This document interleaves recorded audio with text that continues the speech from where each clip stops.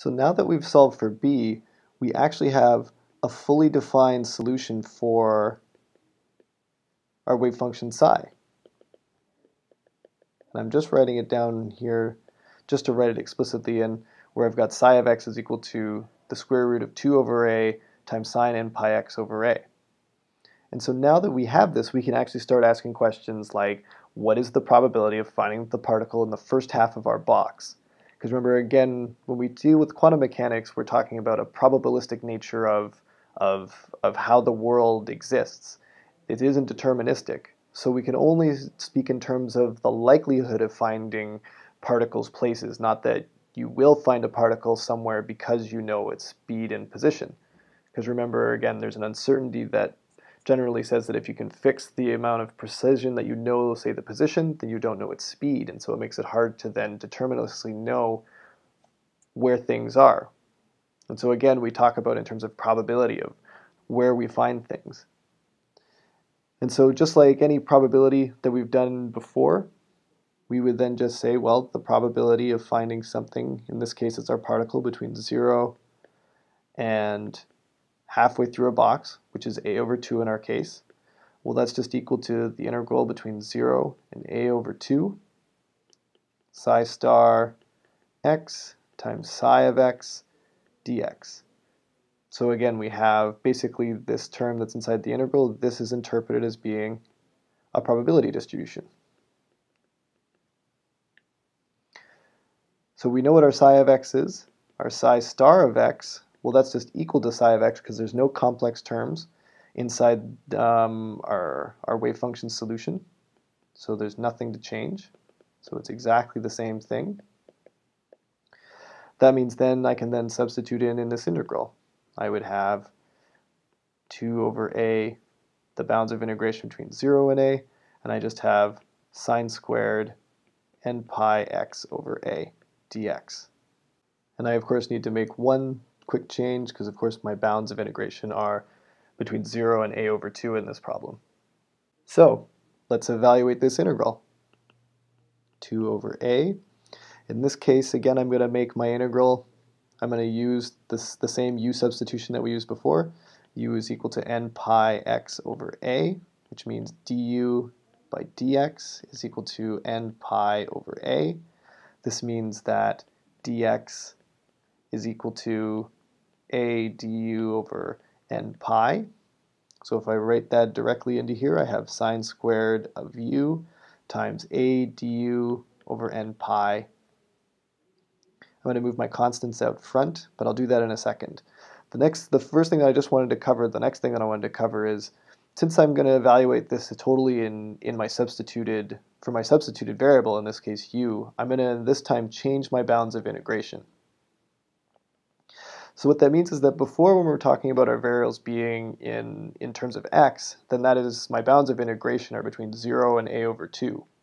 But if I evaluate this integral and I evaluate the bounds in terms of my substituted variable, I have to take these bounds of integration, my a over 2 and my 0, plug them into my substituted definition to get new bounds of integration. So if I substitute in 0 into this u is equal to n pi x over a, and I substitute 0 in for x, well that's just n pi times 0 over a, and that just gives me 0. So my lower bound of my integration has not changed. My upper bound, which is just my u for a over 2, well now I'm going to be plugging in again a over 2 in this case, my a's cancel out. And what that leaves me with is a value that's n pi over 2. So that means my upper bound of my integration is now going to be n pi over 2. And what this means is that when I then finish this integral or I evaluate this integral, and then I go and I apply my fundamental theorem of calculus, meaning I apply the bounds of integration, that I'm not going to substitute back in for x. I can leave this in terms of u. Now let's evaluate this integral. I have all my constants out front. I'm going to have 2 over n pi, and that's just because in this previous part I can cancel out my a's. I know this integral is going to be u over 2 minus the sine of 2u over 4. bounds of my integral, are, since I'm going to do this in my u coordinate, then it's just between 0 and n pi over 2. That means I'm just going to substitute in directly for those values. So I'm going to get n pi over 4, because I'm going to have 2 times 2 on the bottom, minus the sine of 2n pi over 2 all over 4. From that I'm going to subtract off 0 because I sub 0 in for u and I'm going to get 0. And I'm going to subtract off the sine of 0 all over 4. So you can see that many of these terms are going to disappear immediately. I have on the right hand side I have 0 and sine of 0 is 0. So those two terms go away. Here I'm going to have the sine of n pi because I can cancel out the 2 on top and the 2 on the bottom. And the sine of an integer multiple of pi, well that's just going to be 0. So what I'm going to be left with in the end is 2 over n pi times n pi over 4. I can then cross off the n pi's, and so I'm just left with 2 over 4, or 1 half. And so what this means is that the probability of finding the particle in the first half of my box is going to be 1 half. I'm 50% likely of finding the particle in the first half of my box. All right, so to summarize, here are four key points that I want you to take away from this lecture. The first is that the time-independent Schrodinger equation represents the stationary state of a particle. Stationary states essentially means that all the observable properties are independent of time. That doesn't mean that the wave isn't vibrating, it's that the properties of the waves aren't changing. For instance, a wave can vibrate and still maintain a constant wavelength. The second point is that the probabilistic interpretation of the wave function introduces a kind of indeterminacy. Quantum mechanics only provides statistical information on possible results.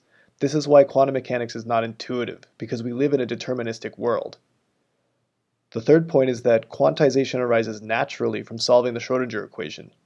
There was absolutely no need to insert it explicitly, it just came about just by solving the wave equation and applying boundary conditions. The fourth and final point is that the particle in a box problem that we solved in this lecture can be used to describe electrons in conjugated double bonds, among other things. And so this is then one way that we can explain the observable spectra that we might measure from systems that involve these conjugated double bonds.